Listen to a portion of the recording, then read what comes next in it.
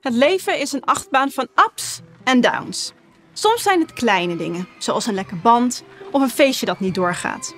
Andere keren zijn het grotere uitdagingen, zoals niet toegelaten worden tot je droomstudie of het omgaan met de ziekte van iemand die je lief vindt. Hoe je met deze stress en tegenslagen omgaat, wordt coping genoemd.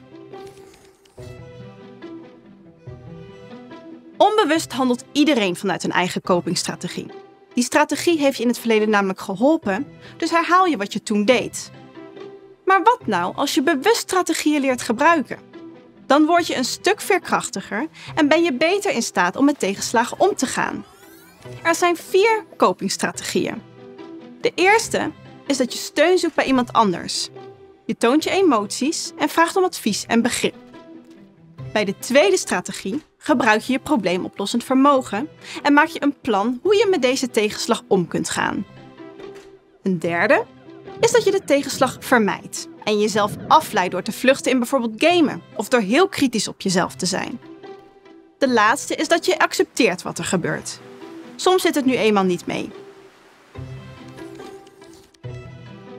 De beste strategie hangt af van jou, je omgeving en de situatie.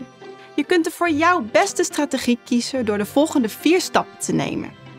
Herken dat je in een moeilijke situatie zit en vraag je af wat je voelt en wat je denkt. Overweeg hoe je de situatie aan kunt pakken. Kies een strategie die voor jou werkt en zet deze in. Werkt het? Zo niet, ga terug naar stap 3 en probeer een andere strategie. Nog meer tips? Klik hier.